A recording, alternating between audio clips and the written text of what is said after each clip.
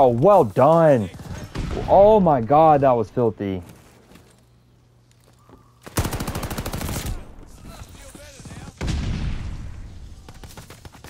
Near the end of this game, I might switch to game chat and shout him out. That was filthy.